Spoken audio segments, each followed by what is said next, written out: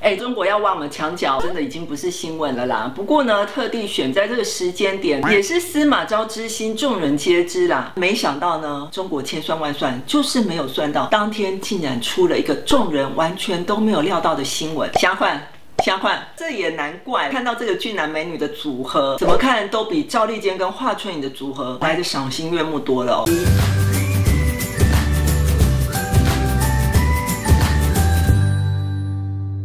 大家好，我是陈律师。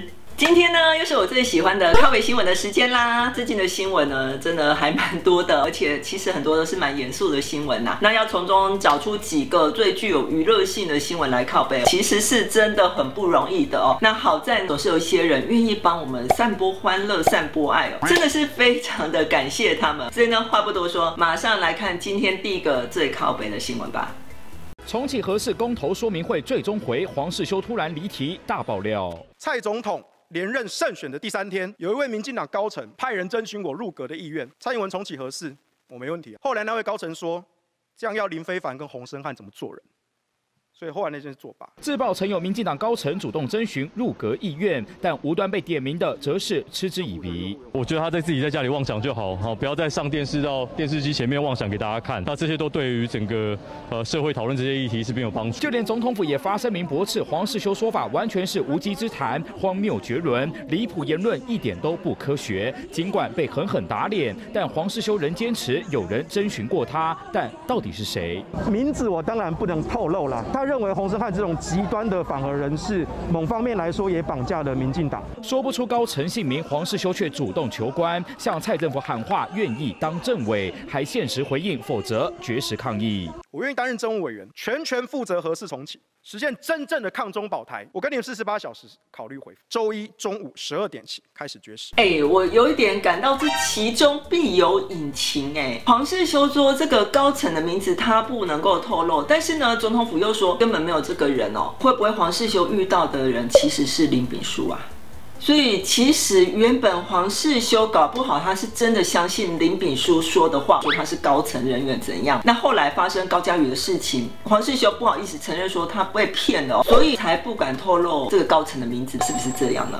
不过话说回来啦，我是觉得最近那个林炳书的事件后，很多人在猎物啊说什么谁谁谁也跟林炳书一起吃过饭，好像是什么罪不可赦的事情。我觉得这种心态其实不是很正确，因为我之前就一直强调，现在的诈骗集团真的很厉害哦，一不小心就会上当受骗，不小心被骗的人其实都是受害者啦。大家不应该一直去检讨受害者嘛，要去谴责的应该是从事诈骗的那个人呐。所以呢，如果黄世修不小心被骗的话，其实他只要老实承认。他被那个自称高层的人骗了，大家也会愿意给予同情的啊，是不是呢？另外呢，我也要趁这个机会跟大家宣导一下，像这种到处吹牛说，哎，我认识谁谁谁，可以帮你捞一点好处，别人都不懂，就我最了解司法内幕的那种骗子，什么地方最多呢？不要怀疑，就是法院里面最多，法庭里面一堆诈骗集团排队等着受审，法庭外面还有一堆司法黄牛在那里撒渔网钓鱼，等人家上钩，只要说几句话，说我认识哪个法官检察官，你给我多少钱，我就可以帮你说情，一堆人就是捧着现金去。甘愿被骗呢？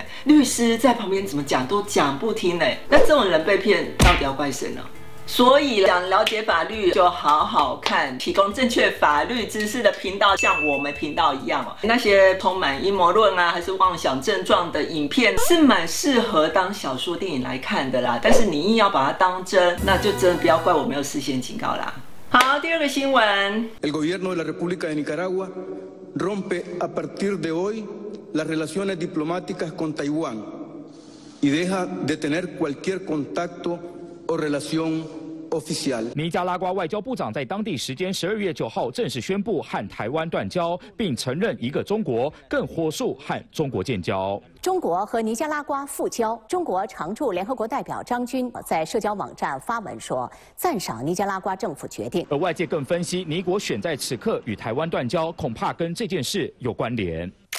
由美国主办的民主峰会九号登场，我国驻美代表肖美琴也和美国总统拜登透过视讯面对面交流。中国在此时再度出手打压我国外交空间，不过我国元首坚定表态，捍卫自由民主决心绝对不会变。哎，中国要挖我们墙角，真的已经不是新闻了啦。不过呢，特地选在这个时间点，也是司马昭之心，众人皆知啦。啊，不就是美国在十二月九号的时候召开民主峰会嘛？民主峰会顾名思义，当然就是要讨论民主 （democracy） 在各个国家的发展。所以台湾有受到邀请，这很正常嘛。那中国没有受到邀请，这也很正常啊。啊，不然中国到底是可以在民主峰会中讲什么嘞？你们跟我说，中国到底可以在民主峰会中讲什么嘞？所以美国顾虑到这一点，没有邀中国出席，就是怕中国感到尴尬嘛。那这个是美国的善意啊，真的不知道中国又是在玻璃心碎什么东西。反正中国不开心，一定要想个办法打击台湾嘛。最直接的方法是挖台湾的邦交国啦，只要挖成功，这个新闻一出来，台湾参加民主峰会的国际上的重大发展，一定会马上被盖过去，又可以把台湾人的尊严放在地上踩踩踩。晚上争论节目一定有很多名嘴要大骂蔡英文跟民进党，这个剧本简直就是太完美了。没想到呢，中国千算万算就是没有算到，当天竟然出了一个众人完全都没有料到的新闻，完全打破中国的如意算盘嘞。是哪个新闻呢？我们先来看一下。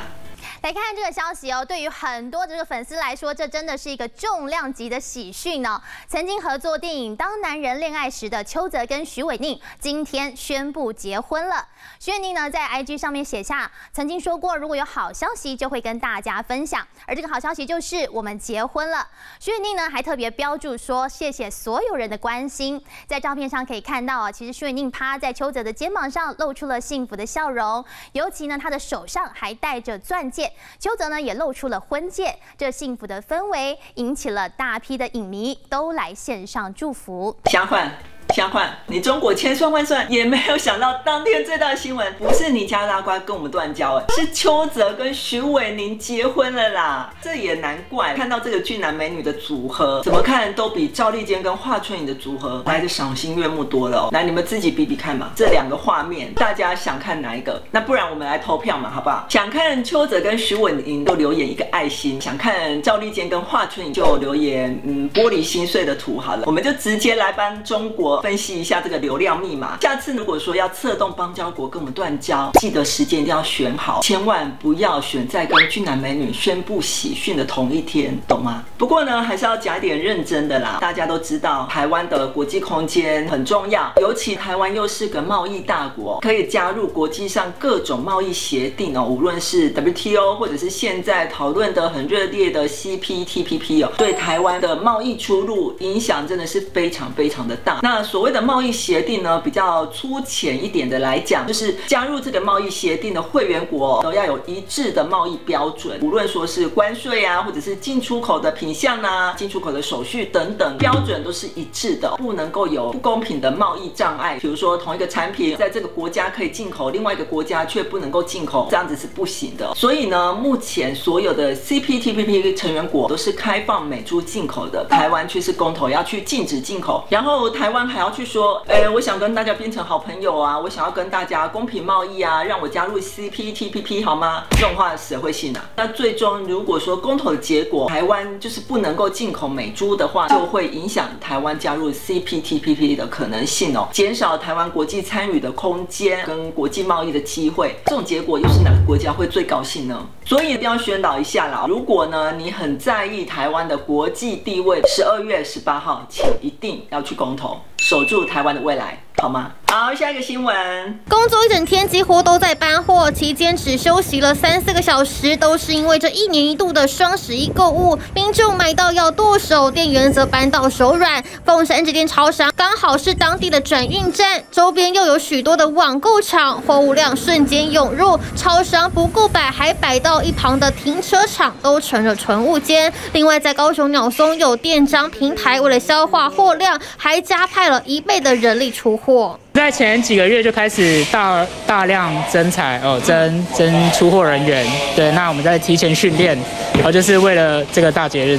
搭配振兴优惠，业绩比往年成长了两到三倍，邮务中心也忙翻了。快捷邮件比平常成长了一千多件，整体的投递量也超过一万件。从电商平台到邮务中心，也都出现了包裹山，也展现双十一的惊人消费力。哎，看到这个新闻，不知道有没有很多网友觉得跟我一样，真的觉得很靠背哦。我跟大家讲啊，我双十一的时候下单买了一大堆东西，什么时候才拿到呢？十二月，真的就是已经快到双十二的档期了才拿到哦。那如果说现在双十二下单的人，会不要等到农历过年才拿得到啊？那本来要买的圣诞礼物，突然就变成农历春节的礼物。那当然了，我们不是要靠背那些很辛苦的送货员或者是超商店员，你们真的加班工作的很久很辛苦，还消化不完，这些我都知道。我要靠背的是那些物流公司啦。哎，这种大档期，你不是好几个月前就安排好了，早就知道双十一、双十二要做什么促销活动嘛？那为什么没有办法提早做好人员的配置嘞？人不够的话，可以早早应征临时职工来帮忙。人不够大，东西就会塞车啊，这样子消费者下次哪还会想要买啊？而且呢，新闻里面说员工只休息三四个小时，剩下的时间通通都在工作。那我不知道说这新闻真的假的啦。如果说是真的，这个老板已经是违反劳基法的规定了哦。因为根据劳基法的规定，劳工正常的工作时间每日不能够超过八个小时，每周不能够超过四十个小时哦。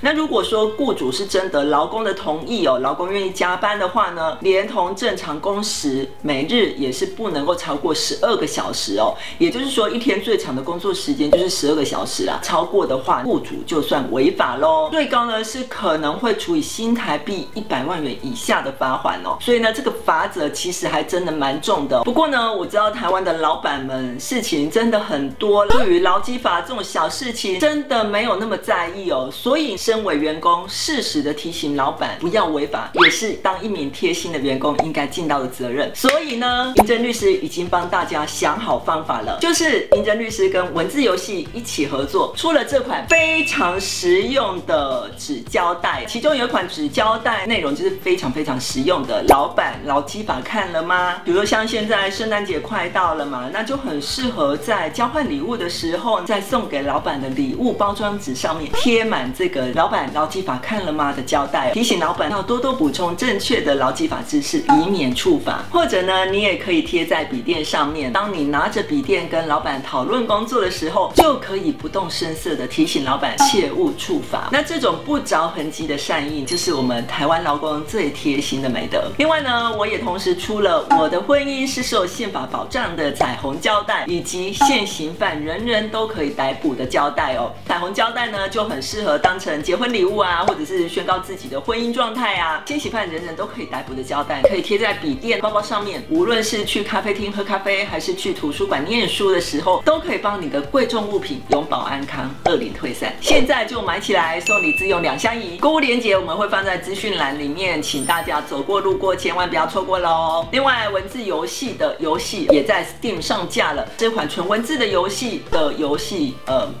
真的是非常非常的特别啦，跟一般的游戏有点不太一样，有点脑力激荡，但是又有游戏的乐趣，一不小心就会上瘾。马上去下载下来试玩看看喽。好，那今天节目就到这边啦。想知道更多的法律知识，别忘了订阅银针律师 YouTube 频道以及追踪我的 IG 和到脸书粉丝按赞。那记得赶快加入我们频道会员以及官方来账号喽。我是银针律师，我们下期见，拜拜。